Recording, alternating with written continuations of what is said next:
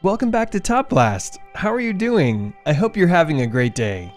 In today's video, we're going to be talking about cringe moments in my 600 pound life. But before we begin with today's topic, make sure to like this video, subscribe to our channel, and turn on the notifications so you don't miss any of our upcoming videos. Without further ado, let's get right into the video. My 600 Pound Life is a reality television series that has aired on TLC Television Network. Since 2012, each episode follows a cure in the life of a morbidly obese individual who begins the episode weighing at least 600 pounds, and documents the attempt to reduce their weight to a healthy level.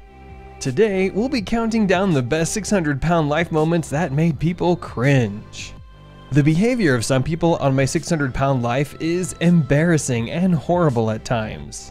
It can be felt the most by the caretakers of these stylish people. The heroes of the program are often very unpleasant to their guardians, e.g. when they do not get the food they want. As we can see, for example, and they should know that they cannot eat unhealthy things because they have to lose the weight. Cringe. Here, we can see an example of Lisa who asked God to take her from this program because she did not want and does not need any help, and she applied for it herself. Every day, she was rude to doctors and nurses, and not to mention family and friends. She was harsh towards them and told them it was their fault that she looked like that and that they wanted to finish her off by being on the show. This situation, according to most viewers, was very cringy, and they were even ashamed of this woman who treated everyone so badly, and blamed everyone around without seeing her guilt in anything. When everyone heard that this woman wanted to lose weight, they unanimously agreed that it was a real shame. This woman said she would only lose weight if she had sex seven times a week. Seriously? Even the doctor felt embarrassed to hear that, and then he could barely suppress a laugh. These people have exceeded all limits of good behavior and can be safely called pathetic kings. I don't even know how to explain their horrible behavior. The brothers support silly ideas because when one of them urinated on the floor just to get the nurse to clean it, at the same time the other brother was sitting on the toilet and singing into the microphone. The entire recording was posted on Facebook. Very pathetic. One of the most painful moments was when Penny tried to convince Dr. Now that she has made progress in sharing that she can now reach out and clean her private parts. It was very disgusting. A lot of viewers after this situation woke up and stopped watching My 600 Pound Life.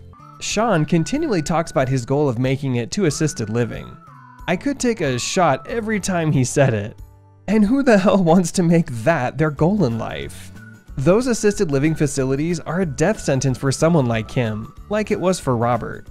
But the only thing he can focus on is how to find another situation where someone can take care of him as his mother did. And when he was perfectly capable of walking to his door to get a delivered pizza, but couldn't walk to the 5 feet to the bathroom to empty the stinking toilet bucket that sat next to him all day, he's probably just given up. It is a pity that the goal in his life was not to change his life and lose the weight, but just to go to an assisted living center. So as you can see, some situations in the stories are very cringe. In addition, we can see a lot of regrettable behavior of the program participants. We can also notice often that my 600 pound life participants forget why they are on the program and negatively challenge themselves, e.g., with their tutors, and this is very pathetic. Do you know more about the situations on my 600 pound life participants? If so, be sure to write in the comment section below. We look forward to your comments and hope you will surprise us with stories we didn't know. That is all we have for you guys today. Thank you guys for watching. If you enjoyed the video, be sure to drop a like, subscribe to the channel if you haven't already for more content like this and much more. We will see you guys next time. Take care until then. Goodbye everyone.